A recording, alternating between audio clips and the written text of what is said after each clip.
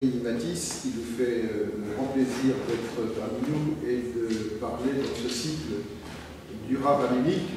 Je trouve sa présence d'ailleurs, la présence de ce sujet dans ce cycle un peu paradoxal, je dirais, on parlera tout à l'heure. Tout d'abord, euh, vous savez que Rémi Matisse est ancien élève de l'école, qu'il est conservateur au département des Estampes, qu'il est spécialiste, euh, c'est un historien du XVIIe siècle, pas seulement de l'estampe, mais aussi euh, des problèmes religieux.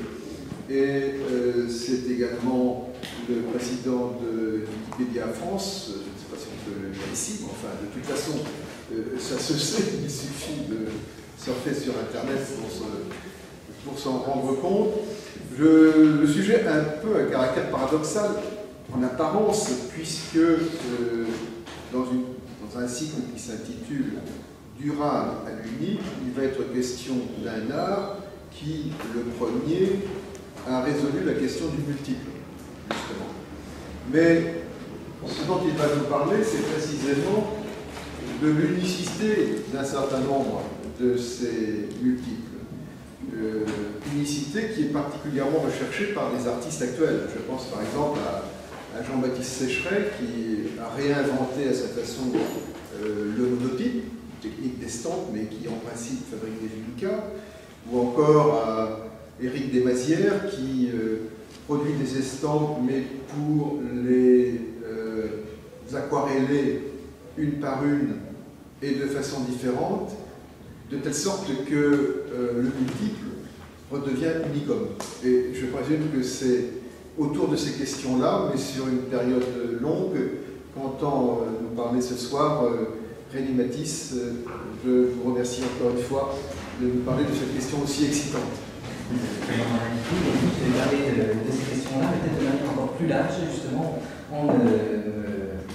restant pas uniquement sur les questions artistiques, mais en parlant des questions de l'unique et de l'usage de l'image de manière générale. Donc, justement, comptais commencer cette conférence en proclamant hautement une vérité. Je hais l'art et les historiens de l'art. C'est en tout cas de cette manière-là que je commencerai cette conférence, si d'une part je ne craignais pas de prendre pour des et d'autre part s'il n'était pas inutile justement de lancer une telle proclamation d'oubli, de mépris de, de l'art quand on travaille comme conservateur dans une nouvelle collection d'œuvres d'art anciennes au monde. Et pourtant, il faut être conscient quand on parle des, des, des estampes qu'on se trouve à la fois dans l'histoire de l'art de manière pleine et entière, mais en même temps un petit peu en marge de, cette histoire de l'art, avec certes certains graveurs qui font partie des plus grands artistes qui soient, euh, pour les grands artistes, tout le monde a forcément entendu parler, euh, tout le monde a pu apprécier les, talents comme graveur, euh, ne serait-ce que Dürer, Rembrandt, Goya, Picasso au fil des siècles. et les précisément, ces euh, grands graveurs artistiques sont souvent ceux qui sont les, plus connus du grand public parce qu'ils n'ont pas été que graveurs. Mais euh, vous avez également chez les graveurs euh, d'autres noms moins, moins connus qui sont parmi les plus intéressants, les meilleurs artistes au monde, les plus extraordinaires artistes de, l'histoire de l'art français et européen, qui pour le XVIIe siècle français, dont je parlerai très largement ce soir, s'appellent Robert Mandeuil, Gérard Audran, Claude Mélan, Sébastien Leclerc, François Chauveau, Gérard Rednick. Ces, œuvres d'art, ces estampes anciennes sont effectivement exceptionnelles et ont parfois l'occasion d'être montrées aux amateurs. Vous pouvez en voir récemment dans les expositions des grandes institutions culturelles à, Paris et en province. On se tromperait toutefois en conservant de l'estampe que ce côté artistique, que ces belles pièces, que ces pièces exceptionnelles. Rappelons euh, peut-être si parmi vous il y a quelques personnes qui ne sont pas familiers euh, de ces questions euh, artistique, ces questions de production de, l'image, c'était une estampe.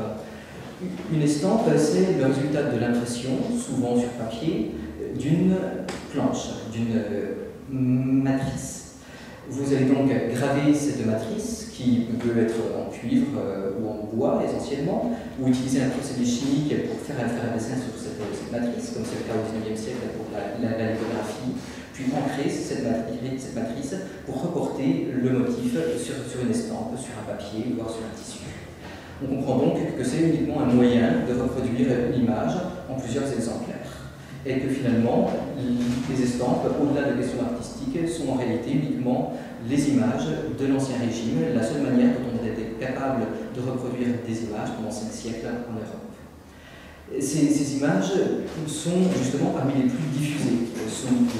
l'Ancien Régime, puisqu'on peut produire et reproduire plusieurs milliers, voire dizaines de milliers d'exemplaires ces images à partir du moment où votre, matrice restera dans un état à peu près euh, correct qui permette que le dessin soit encore visible. Ce serait donc encore une fois se tromper que je pensais que le paysage visuel de nos ancêtres repose sur les tableaux que, l'on voit au Louvre ou, dans les grands musées, ou même au niveau des estampes sur les eaux fortes artistiques d'une grande finesse qui font encore aujourd'hui les délices des amateurs.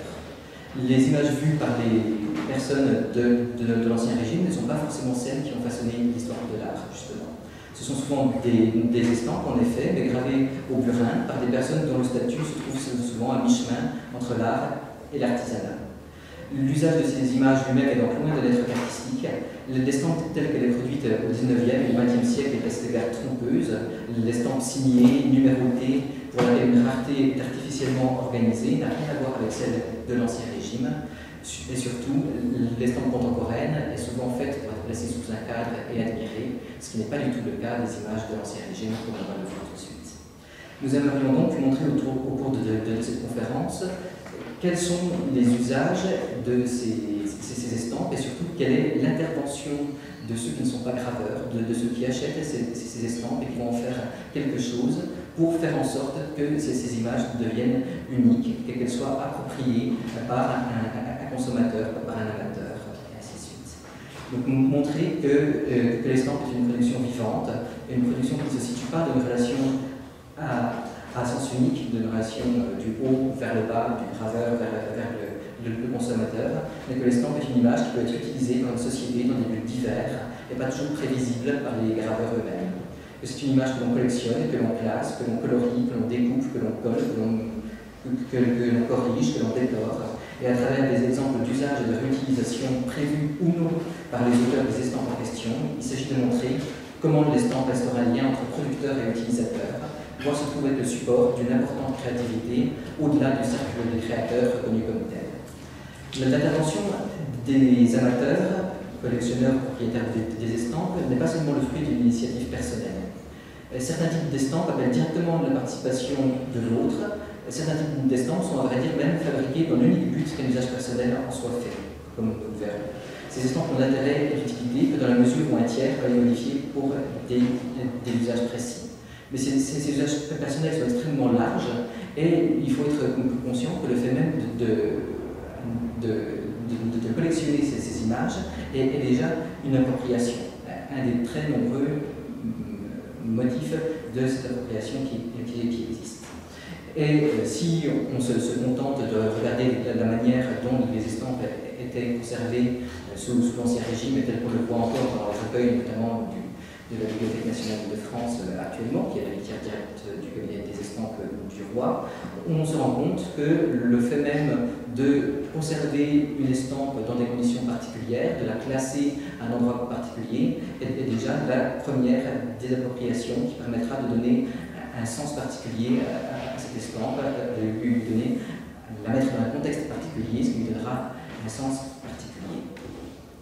C'est le tout premier exemple que, je voulais aborder avant même d'entrer dans, le, sujet précis, c'est cette question justement de la, manière dont les, collectionneurs vont euh, s'approprier une image par le, fait même de, la mettre dans un contexte Et, c'est l'image que je vous montre euh, ici, qui vient d'être un, bon exemple, qui vient d'une des, collections euh, ancienne qui est conservée au département des, estampes de la BNF, qui s'appelle la collection Feuvret de Fontette. Feuvret de Fontette étant un parlementaire euh, dijonnais euh, au cours du, XVIIIe siècle, dont la collection a servi de, base à la série QB1 du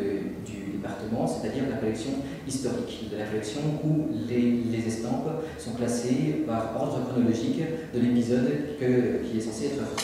représenté.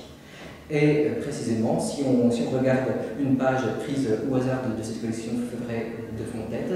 on, voit qu'elle euh, est censée être traitée à cet endroit-là euh, l'histoire des Mérovingiens dans l'histoire de France, et que Feuvret de Fontette va prendre une image tirée de, l'Ancien Testament flamand. et, que donc par l'utilisation même, le classement même et, le texte qui est écrit sous, cette, image, on va finalement avoir une, sorte d'appropriation de, cette image dont le sens change et qui passe d'une scène biblique à une scène historique de l'histoire ancienne française. Mais ces, questions de, collection ont déjà été très largement abordées, et donc ce sont d'autres euh, choses, peut-être plus originales, en tout cas plus euh, délaissées, que, j'aimerais aborder ce soir à travers trois grands points, et donc trois grands exemples d'usage, d'appropriation et d'unicité de ces, de ces estampes. Le, premier est tout simplement le, fait de modifier une, estampe en modifiant son apparence, euh, ce qui quelque chose qui apparaît sous l'Ancien Régime d'une manière générale, avec la plus facile, la modalité la plus aisée pour ça, ce sera de, mettre en couleur ces, estampes. Mais je vais essayer de prendre quelques exemples qui montrent qu'il y a bien d'autres appropriations de, de, ce genre prévues par le, producteur de cette estampe ou pas, et qu'au fur et à mesure on voit certains modèles apparaître. Le second point que j'aborderai, ce sera à partir d'exemples essentiellement tirés de l'estampe héraldique, la manière dont se développe une production d'éléments gravés euh, qui sont directement euh, destinés à être utilisés et personnalisés par des, utilisateurs finaux. Euh, c'est-à-dire qu'on gravera des, petites estampes qui, elles, seront réutilisées par des, utilisateurs. Et ces estampes ont été produites pour cela, pour créer des armoiries ce qui est quelque chose qui n'est pas très étudié jusqu'à maintenant. Et le troisième, je, parlerai d'un personnage assez particulier qui, fait une forme d'art qui, lui non plus, n'a pas été étudié euh, jusqu'à maintenant et qui fait un usage de, de, l'estampe qui est très original puisqu'il ne s'agira même plus d'utiliser des estampes pour en faire euh, autre chose, mais d'utiliser des bouts de ces, estampes, c'est-à-dire ne plus considérer les estampes comme des images en tant que telles, mais comme une mine de, motifs, une mine d'images euh, que, l'on va pouvoir prendre, découper, recoller pour faire des créations propres, c'est-à-dire finalement ce qu'on appellerait un remix euh, dans la société qui est la nôtre actuellement. Toujours est-il que le premier point, la, personnalisation la, plus simple et la plus courante d'une estampe qui existe et qui reste vraiment des, origines de, l'estampe jusqu'à nos jours, repose sur un des membres les plus criants de, l'estampe ancienne, ça repose sur le fait que, les estampes sont en noir et blanc. Elles ne le sont pas en permanence, mais c'est toujours plus facile de tirer une estampe en noir et blanc que de la tirer en couleur. Le but, du coup, ce sera bien évidemment de retrouver les couleurs de, la réalité sur ces, estampes. Du coup, dès les origines de l'estampe, ce phénomène existe et il demeure pendant, plusieurs siècles, sachant que euh, apparaissait chez les historiens en particulier au cours du XIXe siècle l'idée que, les estampes étaient mises en couleur au début de cet art, au moment où les graveurs n'avaient pas encore les capacités techniques pour euh, reproduire ou une image de, manière pertinente et qui aurait euh, disparu au fur et à mesure. C'est une image, c'est une euh, idée qui a été euh, abandonnée depuis, et en, particulier au cours de grandes expositions sur, sur ce thème qui lui a été traité au cours des années 1990 en particulier dans les grandes expositions aux États-Unis et qui montrent toute l'importance de, cette mise en couleur. Ces, ces, estampes, bien, évidemment, sont plus ou moins personnalisées en, fonction de la, capacité à euh, inventer, de la capacité à élever, de la capacité à euh, faire une mise en couleur qui, est, originale. Certaines peintes de, manière euh, unique ou l'intervention de l'enlumineur via la prix à une estampe qui était parfois déjà très belle. Et dans d'autres cas, on se contentera de, peindre de manière assez rapide, souvent avec l'usage d'un d'un mouchoir, des images qui, elles, sont produites de, manière plus rapide et qui restent jusqu'au XIXe siècle avec les images les finales produites à un très grand nombre d'exemplaires au, au, mouchoir. Si la mise en couleur crée une épreuve unique de, de, en question, en revanche, l'activité n'est presque jamais due au propriétaire. La, mise en couleur réclame dans presque tous les cas l'intervention d'un professionnel, qu'on appelle un, enlumineur, un enlumineur en, en taille douce, euh, ce qui euh, n'est pas très, étonnant qu'on fasse appel à un professionnel, puisqu'on se place là encore dans une pratique qui sont celles de l'imprimer d'une manière générale, qu'on retrouve dans le livre, depuis les origines, puisque ce qu'on trouve sur, sur les estampes sous tout, l'ancien régime, régime, c'est ni, ni, plus ni moins que ce qu'on trouve sur, sur le livre Je me rends compte que mes images ne sont pas dans l'ordre, c'est pose un problème. Si, là c'est dans l'ordre,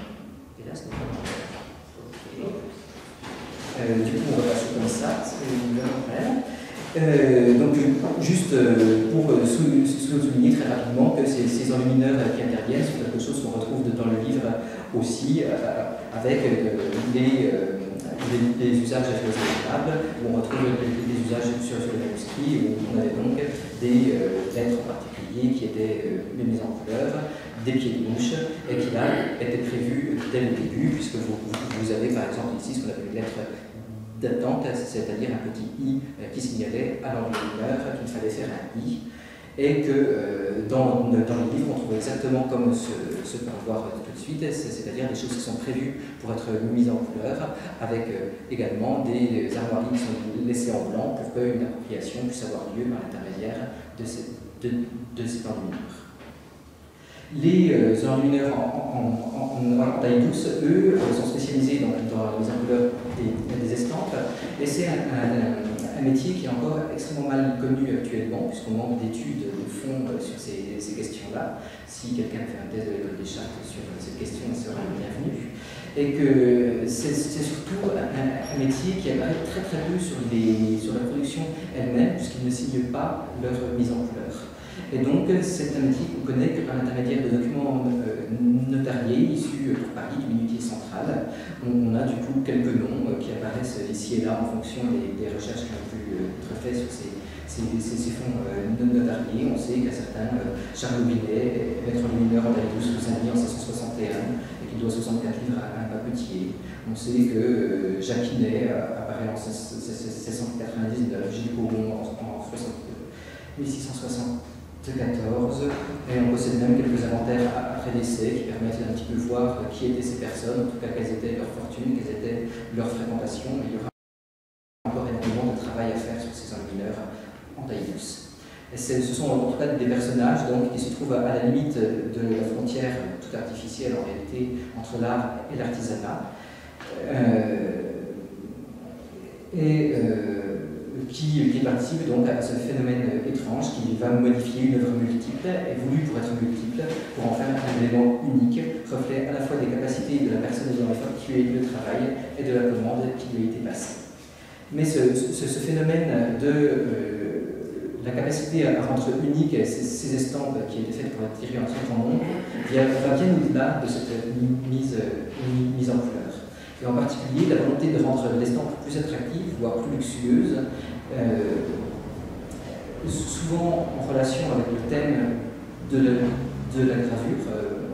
ce sont des choses qui, apparaissent sur, certains, sur les gravures qui abordent certains thèmes et non pas sur d'autres, euh, peut faire intervenir d'autres techniques que, que, la gravure proprement dite. Et l'une de ces techniques qui est mise en œuvre est particulièrement intéressante par sa, complexité, c'est ce qu'on appelle les, estampes habillées une estampe euh, habillée consiste à mêler les techniques du papier avec celles du tissu afin d'enluminer de différentes manières ces, ces, estampes et, encore une fois, d'arriver à une estampe, à une épreuve originale. On, va du coup choisir des tissus qui sont censés être portés par les personnes représentées sur ces, estampes. Les, estampes habillées sont souvent des, estampes de mode, en tout cas des, estampes qui représentent un personnage. Ces tissus vont être découpés et ensuite vont être appliqués sur un, carton qui servira de fond. Puis l'estampe elle-même sur papier va être découpée et ajourée pour laisser voir le tissu à l'endroit où, on le désire. Puis ensuite, cette estampe va être recollée sur le, tissu qui constitue le fond et ça permettra que l'on ait à la fois des éléments qui sont en papier, euh, comme on peut le, voir ici euh, sur tout ce qui est euh, ce qui apparaît en blanc, ce qui est censé être une, dentelle, et, à la fois des, choses qui sont en tissu, comme ce qui apparaît ici en vert, qui est censé être la robe portée par cette princesse de Conti. Donc c'est quelque chose qui est extrêmement fait sur les estampes qu'on appelle de mode, c'est-à-dire des estampes qui représentent officiellement une personne, en réalité représentent, surtout un, type, une riche personne de pour qui est habillé pour une soirée, pour pour aller à la campagne, et ainsi de suite. Et en particulier, ce sera quelque chose qui apparaîtra souvent dans la production d'une famille spécialisée dans les stands de mode, qui s'appelle les Bonnards, et qui sont toute une famille de graveurs et d'éditeurs d'estampes de la deuxième moitié du XVIIe siècle, à laquelle une thèse vient d'être euh, consacrée il y a quelques, années par Pascal Cugy. Et, donc, ce, ce sont des choses qui apparaissent énormément dans cette production. Euh, avec très souvent une volonté de rendre cette estampe plus euh, luxueuse, euh, c'est-à-dire que les tissus qui vont être utilisés seront des tissus de, grand luxe, comme on peut le voir ici sur ce portrait de Philippe V d'Espagne, je crois, donc le petit-fils de Louis XIV, où on voit qu'il a utilisé un fil d'or pour toutes les parties brodées du, vêtement qu'il porte et de la soie qui représente le grand le, le, cordon de l'ordre du Saint-Esprit qu'il porte sur lui. Et y compris euh, qui est pour faire apparaître certains détails bien particuliers, puisque du coup, les, euh, les, les, rouges qui, qui, sont portés par ce, personnage vont être faits avec un, tissu rouge. Là encore, donc, on, se retrouve avec une grande ambiguïté dans, dans, le résultat, puisqu'on peut euh, se demander quelle est finalement cette œuvre qui a été créée. Est-ce que c'est une estampe qui qui, est décoré ou est-ce que c'est un patchwork qui va utiliser l'estampe comme patron et comme, modèle à, suivre, mais où la chose importante serait le, tissu et non pas ce qui est sur papier. Cette question-ci n'est même pas forcément pertinente puisque ces, estampes habillées sont une technique en soi qui se double systématiquement de la mise en couleur et des parties qui, demeurent en, en en papier, même si euh, ce qui reste en, papier est, parfois extrêmement euh, limité, euh, comme on peut le, voir sur cette estampe qui est censée représenter Mademoiselle d'Armagnac, qui est dans une grande robe presque japonisante, et où on voit que les éléments qui restent sur papier sont en fait extrêmement limités, puisque c'est uniquement ces petits ces petites bandes de, de, tissu qui courent le long de sa robe et les, les, parties de portrait proprement dit, mais, que sa robe tout entière va être faite dans une grande euh, bande de tissu. Ces, euh, ces, estampes habillées restent assez rares. On, en trouve à Paris dans quelques, quelques collections bien particulières, en particulier au, musée, musée Carnavalet et à la BNF, mais euh, même au sein de, collections aussi riches que celle de, de, la BNF, il y a finalement assez peu on en a 4 ou 5, et elles ont été acquises assez tard, euh, puisque les seules euh, estampes habillées que nous conservons, et celles que je vous ai montrées là justement, sont issues d'une collection privée qui est arrivée à la BNF euh, au début du XXe siècle, la collection Smith, Smith Le Souef. Donc ça, reste des choses extrêmement rares et qui étaient apparemment commandées par des, des amateurs pour des usages essentiellement de délectation. Dans euh, les deux cas dont, j'ai parlé jusqu'à maintenant, dont des, estampes enluminées et des estampes habillées, l'initiative semble, personnelle, c'est-à-dire que euh, les graveurs, les éditeurs, euh, mettent sur le marché des, estampes sur papier qui ensuite donneront lieu à, un travail qui dépend de, la personne qui a acheté ces, estampes. C'est-à-dire que les estampes ne sont pas créées pour être enluminées ou pour être, pour être on, a deux travaux qui se mêlent et dont l'origine sont très semblables. Toutefois, le, cas n'est pas toujours aussi clair et il semble que certaines estampes soient prévues pour être améliorées de, cette manière-là par l'emploi d'autres techniques, voire que le travail soit effectué par l'éditeur de ces estampes lui-même. Alors, on a là encore un cas qui demanderait à être creusé et qui est d'ailleurs en train d'être creusé par euh, les, collègues du musée de, l'image à Épinal, qui est le cas de quelqu'un qui a encore tout à fait inconnu, qui s'appelle Joseph Oettinger. Joseph Oettinger est un graveur en taille douce et un, éditeur qui est allemand, qui a travaillé à Munich vers le milieu du XVIIIe siècle, puis qui ensuite s'est installé à Strasbourg. Il produit des estampes telles que celles que, vous voyez là, que l'on qualifie sans un peu vite d'estampes populaires et qui ne sont en tout cas pas d'une grande, qualité artistique, puisque ce sont des, estampes telles que ce que vous pouvez voir là, euh, d'une qualité assez limitée. Les sujets sont également ceux de l'estampes populaires, tournant autour de questions de morale, de proverbes et bien évidemment de questions de religion, avec notamment des estampes sur la vie du Christ. Elles ont en revanche une grande originalité, c'est qu'elles présentent des parties en, couleurs, là aussi, avec des, couleurs vives, qui sont souvent celles qu'on retrouve sur les estampes populaires de, de, la, de, la, même époque qui sont euh, enluminées. Donc c'est ces oranges, ces bleus, ces verts. Mais ce qui est intéressant, c'est que euh, ces, couleurs ne sont pas appliquées avec un pinceau sur, euh, sur ces, ces, estampes, mais qu'elles elles arrivent sur l'estampe sur une technique qui relève beaucoup plus de, de, l'estampe qui est l'animé, justement. Ce sont des estampes que, l'on dit euh, être euh, des estampes ajourées, euh, qui sont justement produites tout au long de la carrière de Oettinger, puisqu'on en connaît à la fois qui sont produites à Munich comme celle-ci, et d'autres qui sont produites à Strasbourg comme celle-ci. Donc ces estampes habillées, euh, ces estampes ajourées, pardon, en, quoi est-ce qu'elles consistent Exactement la même chose que les estampes habillées, euh, c'est-à-dire que nous allons découper certaines parties des, estampes et glisser par, en dessous des, papiers de couleur qui vont prendre la place de, l'estampe proprement dite. Euh, avec parfois des, bouts de, papier juste mis en couleur, comme pour les bleus ou les, oranges, et parfois même des choses qui sont en papier euh, métallique. Et là encore, en fonction de ce qui est représenté, on va utiliser le, métallique pour les cuirasses, le, le, feu, et ainsi de suite, en essayant de dégayer ces estampes et de se rapprocher d'une réalité le plus possible. Dans cette première partie, euh, je, voulais vous montrer que l'achat d'une estampe sous l'Ancien Régime n'est pas l'acte ultime du processus de fabrication que les, acheteurs eux-mêmes ont leur rôle à jouer ce qui advient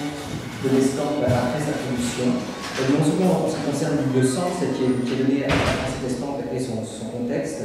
au sein d'une collection, mais en ce qui concerne l'essence même de, de, cette estampe, son apparence, qui sera modifiée en fonction des volontés de l'acheteur et par l'intermédiaire de tiers intervenants. L'estampe donc ne possède jamais un auteur unique, ce qui en fait un objet complexe et passionnant, loin des euh, approches euh, que l'on considérerait comme verticales, qui est souvent le cas en histoire de l'art, euh, en en peinture, etc., mais qui n'est jamais le cas dans un procédé aussi complexe que les estampes. Dans un second temps, je désire montrer que certaines estampes sont créées en prenant en compte cette intervention du, public, voire sont produites dans l'unique but de, de pouvoir être réutilisées par ce public. Certaines estampes sont donc faites avec la volonté affirmée d'être personnalisées, de n'être pas des documents finis, mais être euh, destinés à être euh, euh, modifiés, ne trouvant leur fin réel que dans ces, modifications. Alors, ce sera le, cas de, certaines estampes qui ont un usage extrêmement pratique, tel que cette, estampe qui est en fait un laisser-passer, un, congé destiné à, un soldat, donc, et qui est une, estampe au sens propre, hein, c'est-à-dire que c'est un bois qui a été gravé qui est même, signé, puisqu'on on trouve là en bas à gauche VLSF, ce qui veut dire Vincent Le Sueur Fekit. Donc on trouve exactement le même vocabulaire que sur toutes les, les, estampes, compris artistiques, mais que le but de, cette estampe sera de marquer le nom de l'autorité militaire qui donne le congé et le nom du soldat qui a le droit de partir. Donc c'est quelque chose qui fait directement appel à une personnalisation de la part de l'utilisateur. Ce sera le cas également de toute la collection de bordures et d'encadrement qui, ne serviront que dans euh, l'usage personnel des choses. Ça, c'est une collection qui existe beaucoup euh, dans le, XVIIe et le XVIIIe siècle français, où vous, aurez certains des grands graveurs de, cette époque-là. Euh, l'exemple que je donne là, c'est celui de la Guérard, qui vont produire des encadrements qui serviront ensuite pour, pour, un usage très très pratique. Donc, ces, estampes seront produites sous cette forme-ci, et ensuite vous vous en servirez comme page de titre, comme intercalaire, en euh, rajoutant du texte. Donc là, c'est euh, une personne euh, dans un, couvent à Paris qui s'en est servi comme page de titre pour le recueil d'estampes de, de, piété qui étaient conservées dans ce, couvent. Là, c'est de même pour des, des estampes d'architecture, des vues d'architecture et des portraits, avec donc un un usage personnel qui en est fait, et euh, bien évidemment de manière plus ou moins bien faite. voit là que la personne qui a écrit, euh, s'il est mal pris, euh, il le de l'architecture, elle n'a pas laissé suffisamment de place. Et donc, c'est pas toujours une qualité extraordinaire, mais c'est en tout cas intéressant de, de voir ce qui en est fait. De même, pour des encadrements proprement dit, donc là, ce que, ce, que, ce que, vous voyez, il faut bien comprendre que ce sont deux impressions qui n'ont rien à voir. C'est-à-dire que vous avez une personne qui avait acheté un ancien, un volume d'un ancien Ancien Testament avec des, euh, des, estampes qui étaient au format in octavo et qui a découpé euh, ces pages in octavo et, les a réimposées dans un volume folio. Et pour que ça, fasse beau et que sa page octavo ne soit pas perdue au milieu, il s'est acheté des encadrements euh, qu'il a recollés sur chaque page. Et donc à, chaque page, vous avez en réalité deux impressions très différentes, une Bible et un encadrement gravé par Simoneau, qui, qui, a encore signé en bas à gauche et qui permet de faire ça plus joli et de faire en sorte que le livre de ce monsieur soit un exemplaire unique. Euh, afin de, nous écarter là encore de l'estampe artistique, j'aimerais justement me placer dans un monde particulier, celui de l'estampe euh, en héraldique, où ces phénomènes sont particulièrement visibles et qui sont très très intéressants parce que précisément l'hermétique est, un, phénomène visuel euh, qui fait forcément grand usage des, estampes, puisque le but sera de montrer les armoiries de, différentes personnes, et que de plus l'hermétique fait un grand usage de la, de, la couleur, puisque le système héraldique repose largement sur l'utilisation de six couleurs principales, partagées en deux familles, ce qu'on appelle le 5.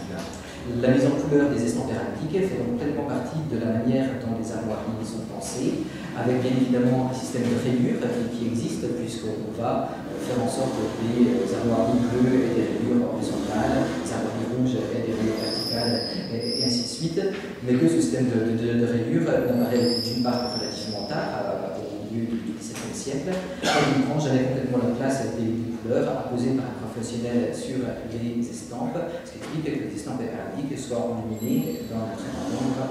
de cas. Euh, tout simplement parce qu'il est très difficile de réussir à, penser avec ce système de, de, de, rayures et avoir réellement ce que ça représente. Ce que vous pouvez voir dans un usage actuel de manière très simple, je ne sais pas combien parmi vous s'est rendu compte que les pièces d'euros reprennent ce système de rayures, mais les pièces de, 10, 20 et 50 centimes sont en bleu, blanc, rouge mais ce système de, de, de rayures héraldiques n'est pas forcément très très facile à visualiser, et donc vous, vous en êtes certainement jamais rendu compte. En tout cas, donc, euh, les, euh, les questions de, de, rapport entre l'héraldique et les estampes sont complexes et passionnants, et nous allons essayer d'aller au-delà de ces questions de mise en couleur dans euh, cette appropriation personnelle. Puisque bien évidemment rien n'est également plus personnel que l'héraldique, dans la mesure où les armoiries représentent une famille, voire un individu, et qu'un enjeu sera donc de donner la possibilité à un individu de réaliser des armoiries qui possèdent des qualités esthétiques, qui sont en tout cas reconnaissables et reproductibles, à faible coût et de manière facile. Et c'est donc là que va intervenir les estampes en tant que technique, permettant de reproduire des motifs à volonté. C'est ce qu'on verra dans un usage tel que celui que, vous voyez ici, où on a un arbre généalogique. Donc c'est quelque chose qui est encore tiré du département des, des estampes de la BNF, qui certaines séries euh, sur, sur, euh, sur l'héraldique, qui sont des, séries PC. Et donc là, nous avons la généalogie d'un membre de la famille Potier de, de donc une grande famille de robes parisiennes, sous la forme de différentes estampes en réalité qui sont mises en couleur. C'est-à-dire que vous, avez ici l'arbre généalogique proprement dit, qui est en fait une gravure sur bois, avec ces euh, différents emplacements où vous pouvez faire apparaître le nom de la personne dont les armoiries sont, sont, sont représentés, et qui en, fait ne, font apparaître que des, écus vides, des, écus blancs, qui vont être ensuite remplis avec les armoiries de la famille que vous, vous, désirez dans, dans un second temps. C'est-à-dire que euh, les armoiries que vous voyez ici sont en fait recollées sur, euh, sur, ce fond. Et que si, vous, vous, regardez bien, là vous voyez que la pointe de l'écu ne correspond pas à, la pointe de l'écu qui consiste en le fond. C'est-à-dire que, vous avez en réalité deux estampes qui sont superposées, une qui consiste en euh, l'arbre généalogique et une deuxième qui représente cette armoirie au chevron avec trois, trois merlettes. exactement, merci. Et que du coup, ces, euh, ces merlettes et ces chevrons et ces, euh, ces lions, etc., vont elles-mêmes être mises en couleur dans un second temps. Et donc, vous, avez différents niveaux d'estampes qui se superposent et différentes interventions qui, apparaissent, mais qui surtout permettent à une personne qui n'a aucune compétence artistique, aucune compétence euh, dans la réussir à, euh, dessiner un lion euh, sera euh, capable de faire un, arbre généalogique qui a des, qualités esthétiques. Au-delà de ces, usages, autre chose qui est intéressante dans les estampes héraldiques, c'est qu'on se place dans une dimension temporelle forte. C'est-à-dire qu'à partir du moment où vous travaillez sur, sur l'héraldique, vous travaillez sur les familles, a des familles qui s'agrandissent, des générations qui succèdent aux générations, et c'est quelque chose qui va falloir être pris en compte. Et, c'est justement quelque chose qui peut être pris en compte par l'usage de l'estampe héraldique à cette époque-là. En particulier dans ces grands travaux héraldiques qui apparaissent au cours du XVIIe siècle et qui cherchent à faire une liste des armoiries euh, d'un certain milieu professionnel, si on dire, en, tout cas d'un certain nombre de personnes selon leur rôle ou leur titre, en particulier euh, les différents évêques français, les secrétaires d'État, les, euh, les chanceliers, et, ainsi de suite. Et donc je vais justement prendre le cas d'un graveur et d'un éditeur d'estampes héraldiques important au cours de la deuxième moitié du XVIIe siècle, qui s'appelle Jacques Chevillard. Jacques Chevillard est justement euh, l'éditeur de grandes cartes telles que celle-ci. Il, en a produit une petite cinquantaine au cours de, de, sa carrière. Euh, donc des, des, cartes qui représentent les armoiries en fonction d'un thème. Euh, donc tous les chanceliers, les secrétaires d'État, les, les, français, les, les rois d'Espagne, les régents depuis l'origine de, la royauté française, et ainsi de suite. Et donc, quand on regarde ces armoiries, on comprend très rapidement que la question de la mise à jour se pose, puisque c'est certes très intéressant d'avoir la liste des élèves français avec leurs armoiries, mais que chaque année, des élèves français vont mourir, d'autres vont euh, être, être nommés, et donc il, va être important de réussir à mettre à jour ça. Ce qui est pris en compte dès le début, et vous voyez que ici, euh, vous, avez les armoiries des personnes postes qui sont représentés, mais qu'on prévoit dès le début des, emplacements supplémentaires qui vont permettre de mettre à jour ces, ces, armoiries de manière personnelle. Donc, du coup, quand on veut mettre à jour, deux solutions se présentent. Soit euh, se renseigner soi-même sur les éléments qui manquent et, les ajouter soi-même en, faisant un petit euh,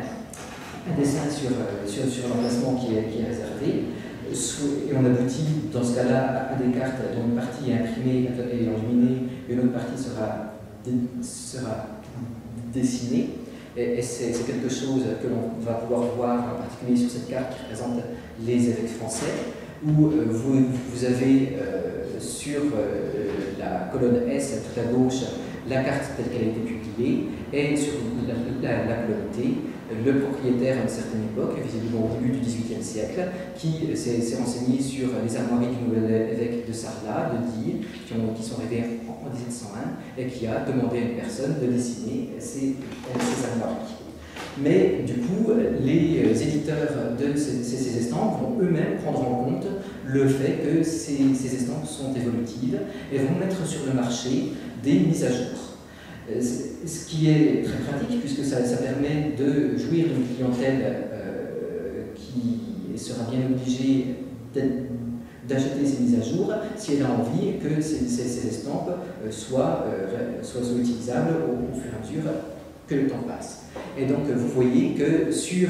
les, colonnes X et, Y, euh, ce ne sont non plus des, dessins comme dans la colonne T et D, mais, ce sont en fait une, colonne d'armoiries qui a été rééditée par Chevillard dans un second temps et qui, du coup a été achetée par le propriétaire qui va euh, mettre à jour ainsi sa carte.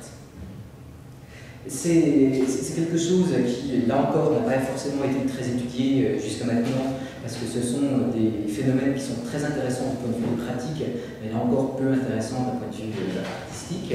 Et du coup, euh, on a assez peu cherché des témoignages de la manière dont ça fonctionne. Et ce que je vous montre là, c'est pour l'instant le seul exemple que l'on connaisse de la production de ces mises à jour qui existent, où on voit que l'éditeur, sur une seule page, a euh, imprimé cinq planches différentes, l'une avec des euh, légendes qui sont liées à certaines personnes qui avaient eu l'ordre du Saint-Esprit, donc euh, une série de quatre légendes là, trois ici, et, d'autre part des armoiries euh, qui, parfois donc, apparaissent sur la même plaque que ces, légendes écrites, euh, ce qui montre d'une part que c'est certainement le même graveur qui faisait les armoiries et qui faisait les textes, et que d'autre part c'est véritablement fait pour être redécoupé et recollé euh, sur des estampes qui avaient été publiées dans un premier. C'est aussi un phénomène qui est intéressant du point de vue de l'histoire des estampes, parce que pour réussir à faire ces mises à jour, euh, ça veut dire qu'il y a une recherche d'informations qui est faite en permanence, alors qui n'est pas forcément très compliquée quand on veut avoir la liste des euh, chevaliers du Saint-Esprit, mais qui sera plus compliquée quand on va vers, des choses plus précises. Et c'est ce qui explique que euh, quand on regarde la carte faite par Chevillard des, des conseillers à la Cour des aides, je crois, ou de la Cour des comptes, je ne sais plus, euh, il y a une petite phrase qui apparaît tout en bas et qui dit Messieurs qui seront si après reçus auront la, bonté d'envoyer leur nom et armes chez le sieur euh, Chevillard, suivi de l'adresse de ce sieur. Et en gros, il euh, fait ce qu'on appelle actuellement du crowdsourcing, c'est-à-dire essayer de récupérer des informations en demandant aux gens de fournir ces informations, parce qu'il n'est pas forcément facile d'obtenir des informations soi-même. En troisième partie, je désirais aller encore plus loin euh, dans la déconstruction de la notion d'œuvre, voire de la notion euh, d'une estampe, et de continuer à s'interroger sur la volonté du producteur dans les utilisations qui sont faites de sa production. Euh, je voudrais donc ainsi changer d'échelle dans la manière dont on regarde les choses et me placer non plus à, l'échelle de la réutilisation des estampes proprement dites, mais de partie de ces estampes qui vont être réutilisées pour créer carrément de nouvelles œuvres. Euh, là, je vais prendre euh, l'exemple d'un personnage, là encore passionnant et là encore mal connu, qui s'appelle François de Lépine, sieur de la Pointe. C'est un personnage complexe que l'on connaît encore mal en attendant de nouveaux travaux, en particulier dans les archives,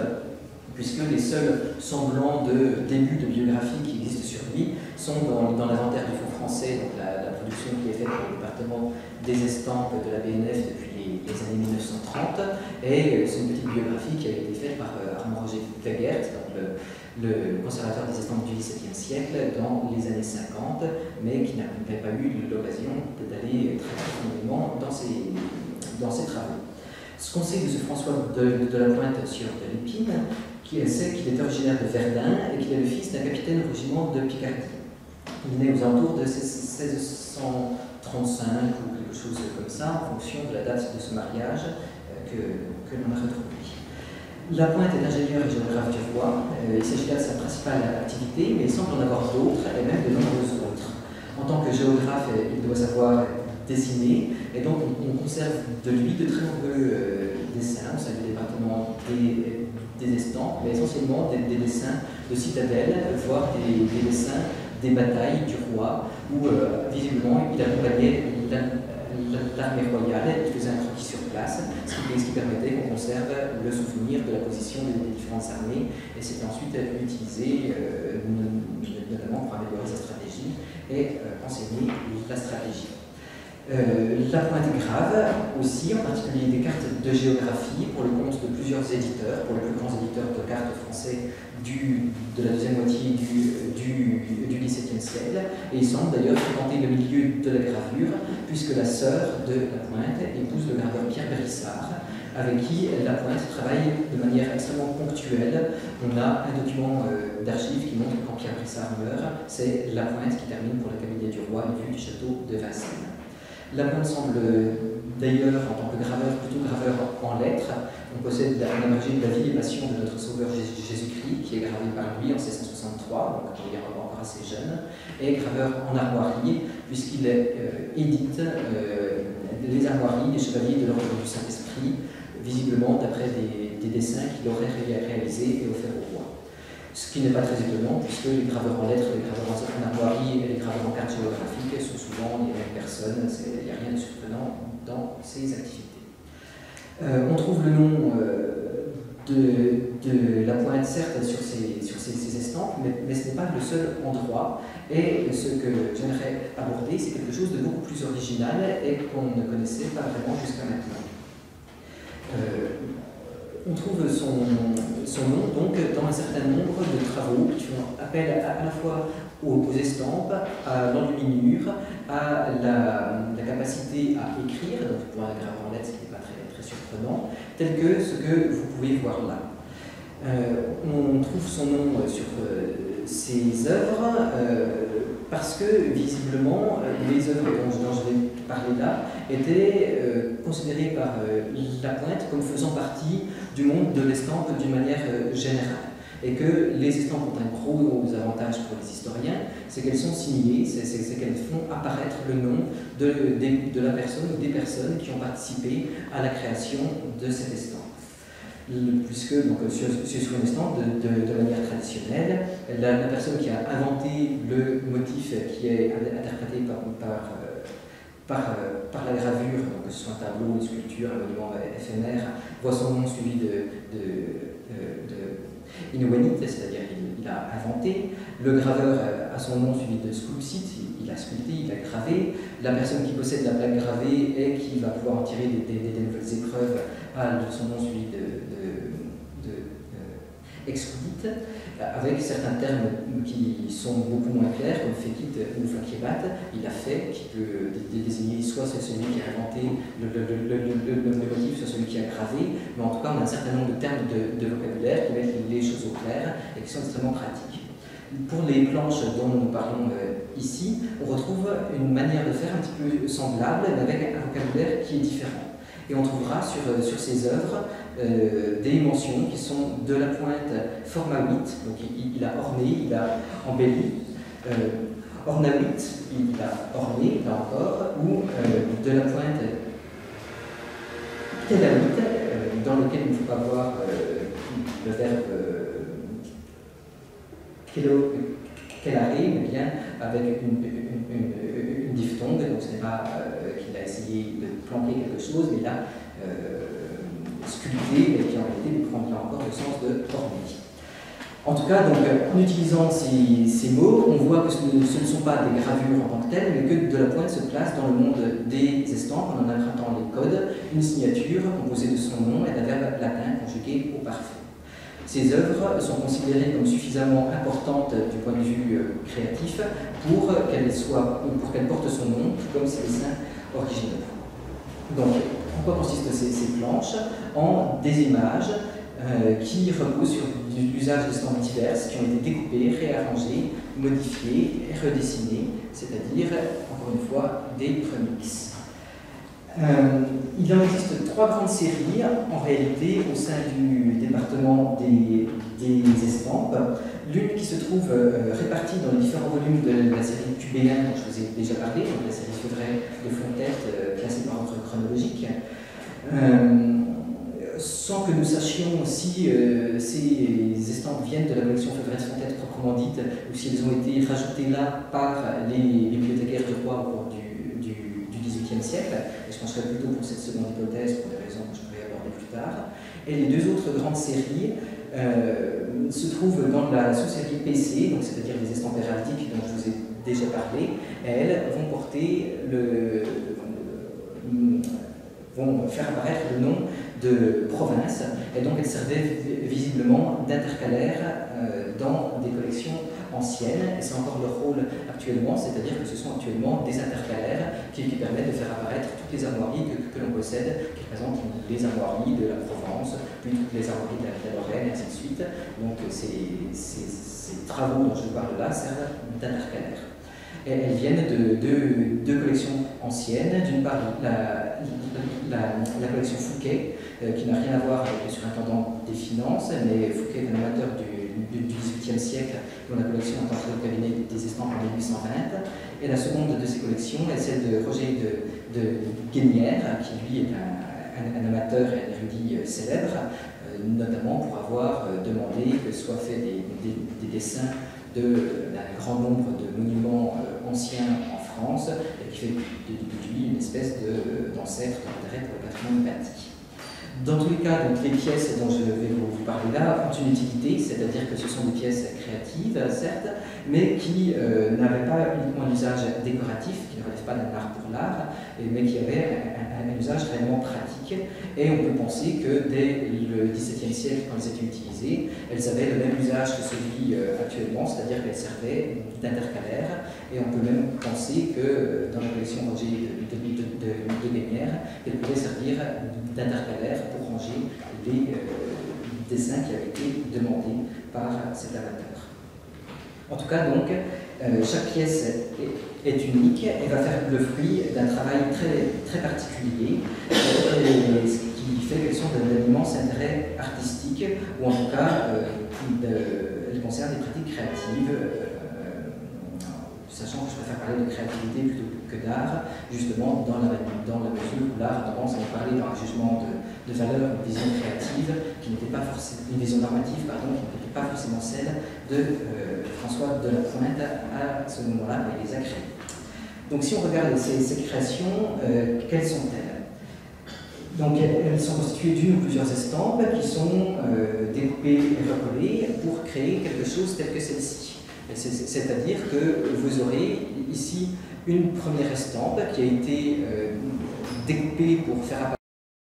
un trou dans lequel on a pu écrire un texte qui a été écrit par François de la Pointe lui-même. Et dans ce cas-ci, vous, avez d'autres estampes qui, vont se surimposer. En particulier, ces armoiries ne font pas partie de l'estampe de fond, mais ont été euh, reprises sur une autre estampe et recollées par-dessus. De même pour les armoiries du, dauphin qui apparaissent là, qui sont en troisième estampe, et de, même pour ce petit ovale qui fait apparaître une, estampe de Abraham Boss, qui est encore une estampe supplémentaire. De même, si on regarde quelque chose tel que celle-ci, euh, vous avez en réalité euh, une première estampe en bas un, encadrement qui permet de laisser de la place pour un texte, les deux dauphins sur le, côté qui sont encore quelque chose, les drapeaux par derrière qui sont encore une estampe supplémentaire, et la personnification de la France avec ses armoiries qui sont encore une, estampe supplémentaire et mise, mise en couleur.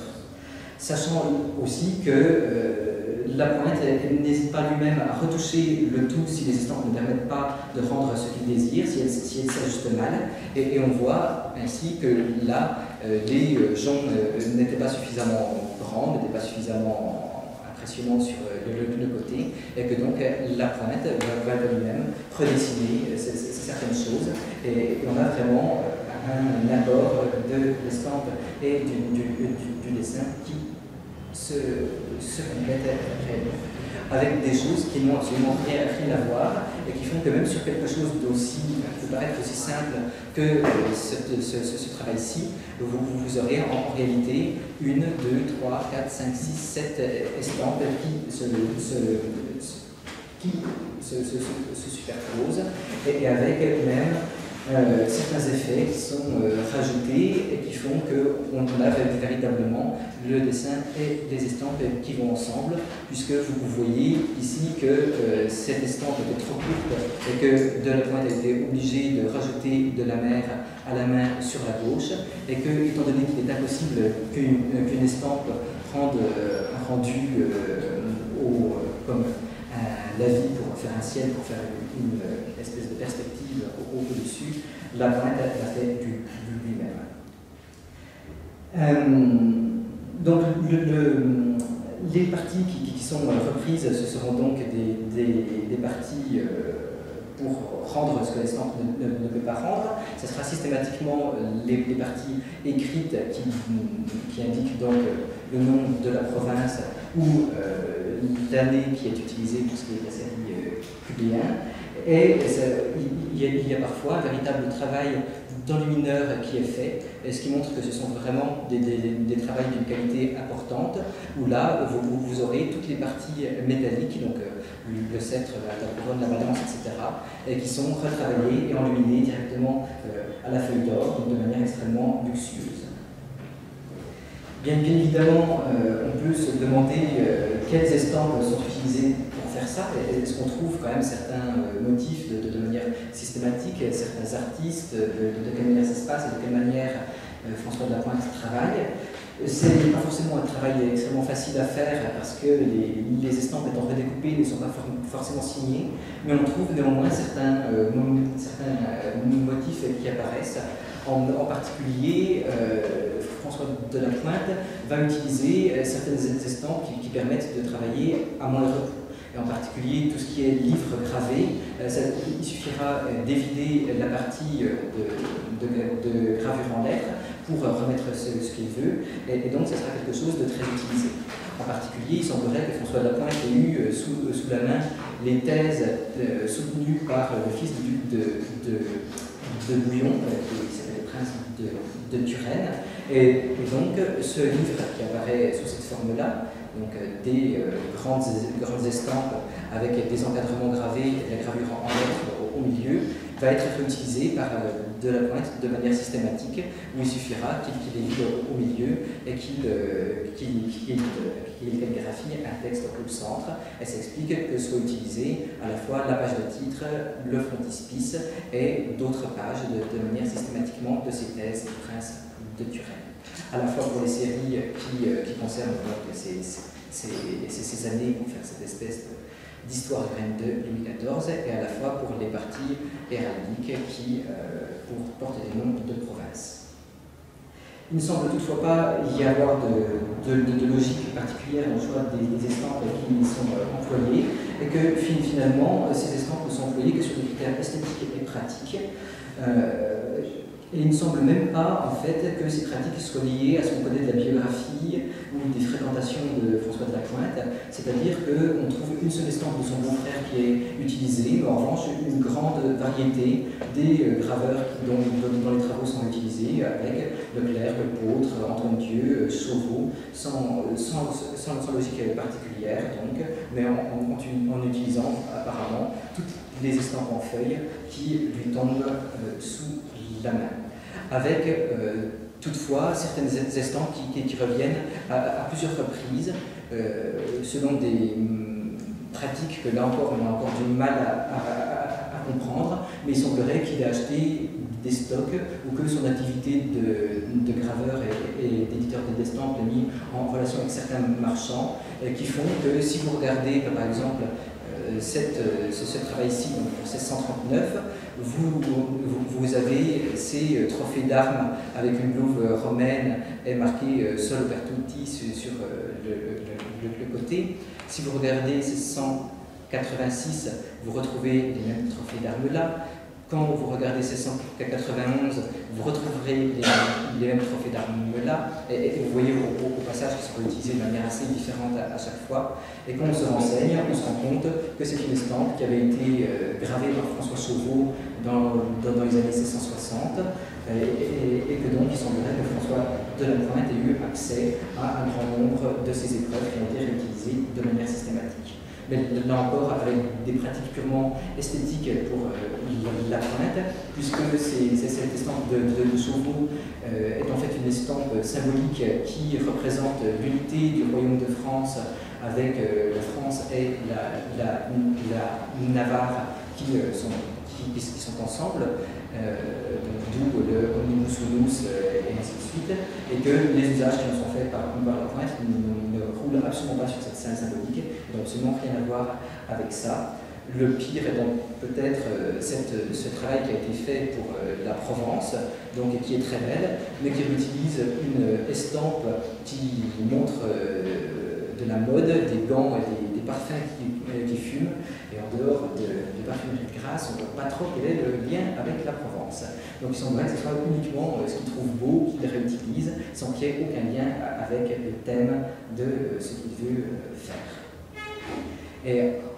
en, revanche, il y, a, un véritable travail qui est fait jusqu'à composer de véritables, œuvres, de véritables tableaux de, de, la part de La Pointe, puisque là, en 1682, euh, en relation avec euh, la, naissance du petit-fils du, roi, on, voit que euh, la,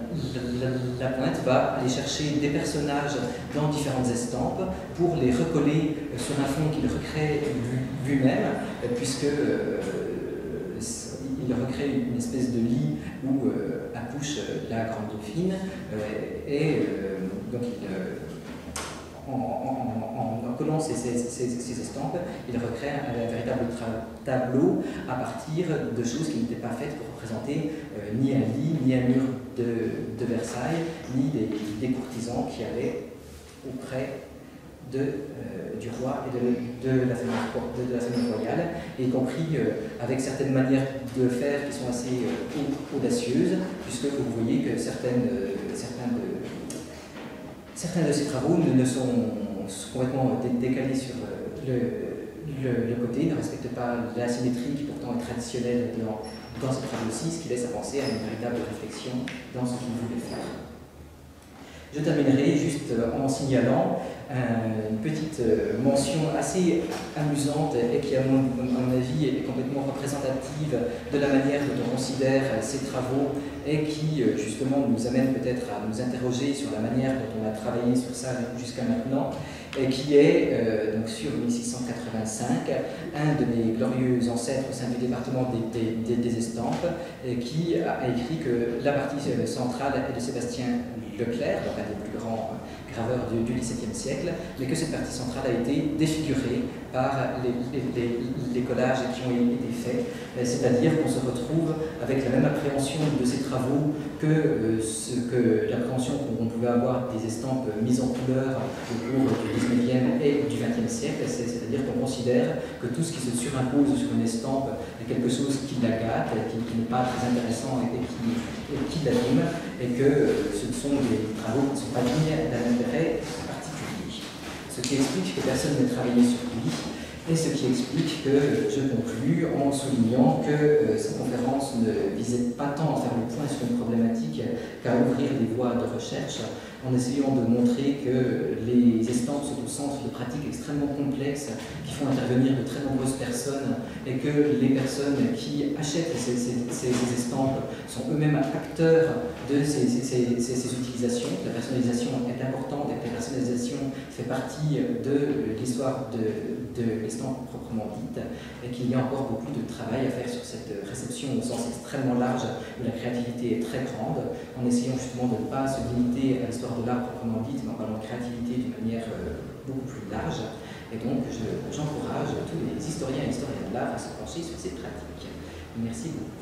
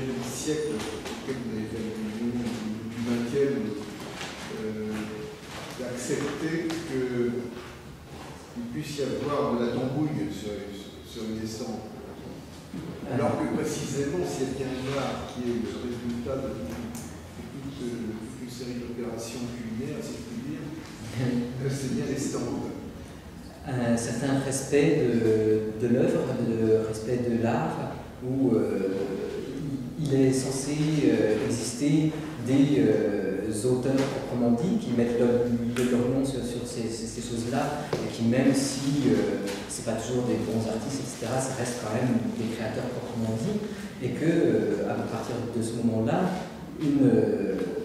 venir faire des modifications sur ça de quelqu'un qui n'est pas lui-même artiste, c'est-à-dire qui sort justement de de, peut-être que ça apparaîtra au cours du XXe siècle, à partir du moment où c'est eux-mêmes, les artistes patentés, ça, ça, ça, passe. Mais sans cela, euh, ça choque qu'on puisse euh, porter atteinte à, ça. Mais enfin, moi, ça ne m'étonne pas, parce que quand on parle justement, y compris avec des prédécesseurs assez proches, c'est quelque chose qui ne les intéresse pas. Enfin, c'est quelque chose qui n'est pas. Euh,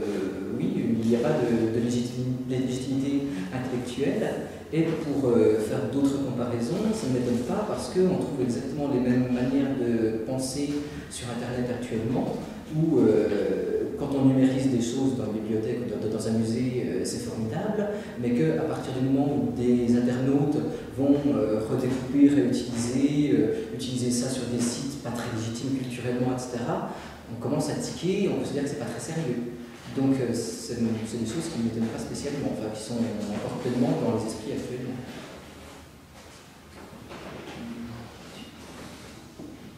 Je, estampes habillées, euh, le fait qu'il y ait un mélange de papier et textile des problèmes de conservation particuliers, et apparemment il y en a très peu, euh, leur utilisation c'était montrer les modèles, quel était le but, le métier peu en quelque sorte commercial Alors, on ne sait pas, euh, sur euh, la question de la, de, la, conservation, ça pourrait en poser euh, de manière curieuse. Les nôtres n'ont pas de problème particulier. On, pourrait penser que les cols qui sont utilisés réagissent mal ou que, l'humidité du papier et du tissu fasse des, tensions, etc. Nous, il n'y a pas de problème particulier, donc ça va le seul problème qui se pose, c'est que pour euh, restaurer une estampe, le plus facile, c'est de la mettre dans l'eau, et que s'il y a des tissus, là, on ne peut pas, donc euh, ça demande des techniques euh, à, sèche, à sec qui sont plus, compliquées. Sur l'usage de ces estampes-là, a priori, oui, là, c'est vraiment des choses qui sont faites pour être uniquement encadrées, admirées, etc. On en trouve donc beaucoup sur les estampes de mode, et sinon on en trouve un petit peu, euh, surtout de manière plutôt du côté des Flandres, dans des choses religieuses ou euh, qui sont apparemment faites pour rendre plus euh, prestigieuses, plus luxueuses certaines, certaines, certaines, estampes, qui a priori servaient à des pratiques religieuses personnelles. L'être mis au mur sur, sur, une maison et prier, etc. Mais,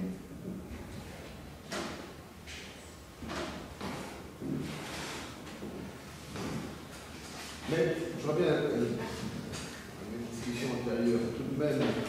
depuis les années 60, euh, surtout l'évolution des arts plastiques en direction des techniques mixtes, ça devrait quand même trouver les, conservateurs d'estampes. Alors,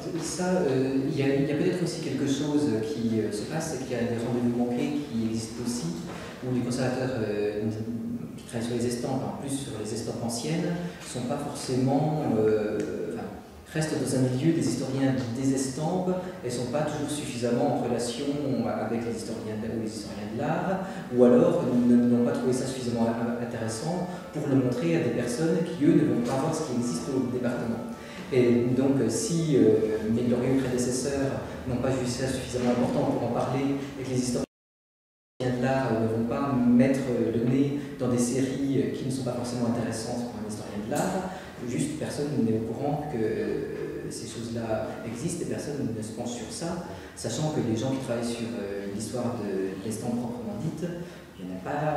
très très grand nombre. Donc euh, les chances de se rencontrer ne sont pas si, si importantes que ça. On a réussi à identifier des, des sculpteurs, enfin plutôt des estampes, sur des meubles, je pense aux meubles de la Renaissance, fin 16e, début 17e, avec des scènes bibliques, souvent bibliques, et on a retrouvé les gravures de Martin Vos ou autres qui sont, donc, qui sont des moyens, des véhicules extraordinaires, mais réinterprétés. Donc même les stands, c'est comme le collage, on réinterprète les stands. Oui, oui, euh, ça c'est vraiment le phénomène de base on passe son temps à se copier euh, les, uns euh, sur les autres au sein des, des des graveurs, mais aussi il y a de très nombreux estampes qui sont là uniquement pour proposer des modèles à tel ou tel artisan, artiste, et. Et là, j'ai reçu il y a quelques semaines une consoeur qui travaille à Écouan, je crois, qui est justement en train de travailler sur un très beau meuble où il y a une partie des, des frises, des, panneaux qui, sont, qui viennent des stands flamandes du, du 16e, qui sont là on sait ce que c'est, mais il y en a d'autres, on ne sait toujours pas ce que c'est. Et donc là, ça pose un, autre euh, problème, c'est qu'on manque d'outils pour euh, faire ce genre de travaux, et que euh, tant qu'on n'aura pas tout numérisé avec des métadonnées précises, et tant qu'on n'aura pas des logiciels de reconnaissance adaptés à ces questions-là qui permettront d'automatiser, on reposera sur le souvenir des conservateurs et des, spécialistes qui se disent hm, ça, ça ressemble à Sauveau, je crois que je l'ai vu, je vais aller voir par là, et on perd trois heures euh, quand on trouve. Euh, ça serait bien qu'un jour, tous les gens qui ont le même problème se mettent ensemble, euh, montent une AMR et qu'on ait enfin des vrais, vrais, outils qui permettent de travailler sérieusement. Quand on voit des estampes reproduites sur les compagnies des Indes, on connaît les estampes qui ont été envoyées là-bas, mais surtout les choses religieuses, le Christ a les yeux bridés, il y a une réinterprétation même de l'estampe sur la porcelaine avec l'inculturation euh, de, ce qu'ils ont fait. Puisque c'est en plus très très amusant de, de, voir que euh, ça vient, ça, ça, ça, repart, avec des, des, des, choses où quand on a une copie d'une copie d'une copie d'une copie d'une copie, on ne reconnaît même plus euh, ce que c'est, ce c'est uniquement parce que chacun dit j'ai copié sur un tel qu'on le, reconnaîtra, et que ça passe, oui, en plus d'un médium à, un autre. Je, me souviens en particulier de porcelaine, des chinoiseries du 19e qui, euh, où ils avaient envie de mettre un, rhinocéros pour faire très exotique, on se retrouvait avec le rhinocéros de Dürer, bien, évidemment, en 1830 sur des trucs euh, de chinoiserie euh, qui n'avaient absolument rien à voir. C'est très très amusant. Et, si on parle de ce qui se passe actuellement, c'est aussi important que les historiens de l'art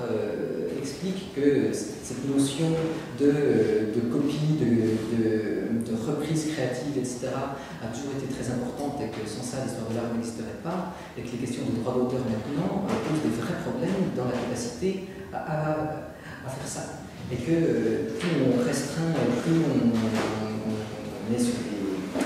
des enjeux financiers plus qu'artistiques, et plus on prend des risques sur la capacité créative d'une société euh, tout, entière qui prend acte qu'il y a des, modèles anciens qui existent, qui les revisite, qui les retravaille et qui font un, un art vivant.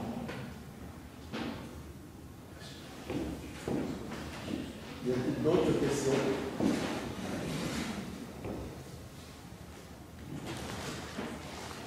Alors, merci beaucoup. Merci.